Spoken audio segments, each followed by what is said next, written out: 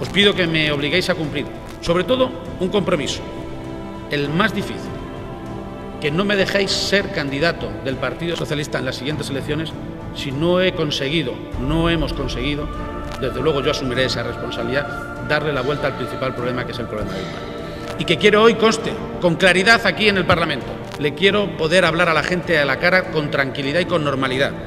Será difícil el trabajo estos cuatro años, pero tengo muy claro que para que haya trabajo, el que más tiene que trabajar es el presidente. Y eso es exactamente lo que comprometo hoy aquí con más firmeza que nunca, dejarme la piel por esta tierra. Muchas gracias.